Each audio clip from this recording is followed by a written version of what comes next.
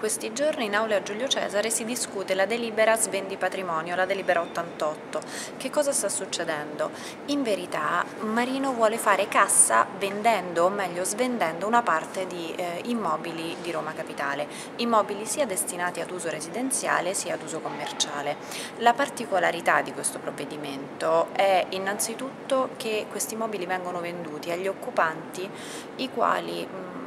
anche da decenni non pagano i relativi canoni di locazione e parliamo di canoni anche molto bassi, 40, 20, 30, 70 euro e il Comune non si è mai premurato di riscuotere quei crediti. Inoltre, invece di punire questi morosi, il Comune li premia regalando questi immobili sostanzialmente a un prezzo molto inferiore di quello di mercato, per di più ribassato del 30%. Ora,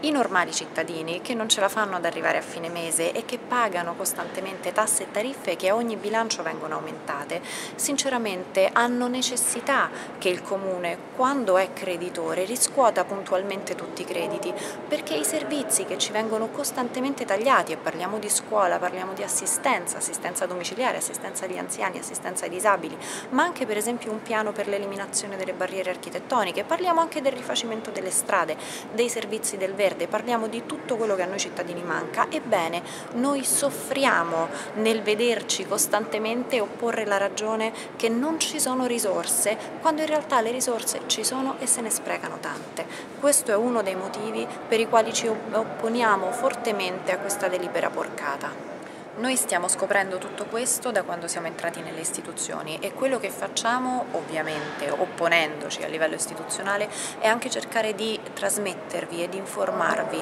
in modo che anche voi possiate partecipare. Vi invitiamo davvero a partecipare, a venire, venite in commissione, venite in consiglio, facciamogli sentire il fiato sul collo, facciamo sentire a questa amministrazione che i cittadini sono presenti e vogliono partecipare.